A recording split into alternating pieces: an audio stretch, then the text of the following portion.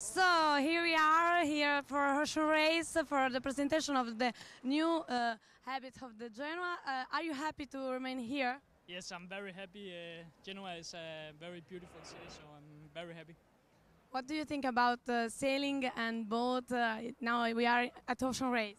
Yeah, it's uh, it's really nice. I didn't do that often before, but uh, I really want to do it more because it's a it's a beautiful beautiful place here. And this season uh, will start. Uh, your sensation of, about this season uh, with Genoa? Oh, uh, one more time.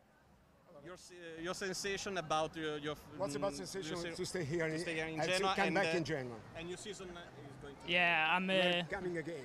yes, I'm very happy. Uh, we had a very good season last year, and uh, we went uh, back up to Serie A, and then I, I'm looking very forward to play play here in Serie A again, and I think we can do very good. We'll train. You play.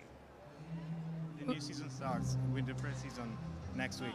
Yeah, uh, yeah. I look uh, very forward to come back. It, uh, it's been a long uh, vacation, but uh, it's gonna be nice to see all the guys again, and uh, yeah, a lot of uh, hard work uh, uh, in front of us. So uh, yeah, I'm really looking forward to to be back here in Genoa.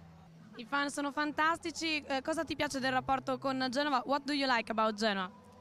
Yeah, I like a lot uh, the the water and the sea. It's uh, it's am- amazing, and also the mountains uh, and the people here are also nice. So uh, yeah, it's a it's a great place to be.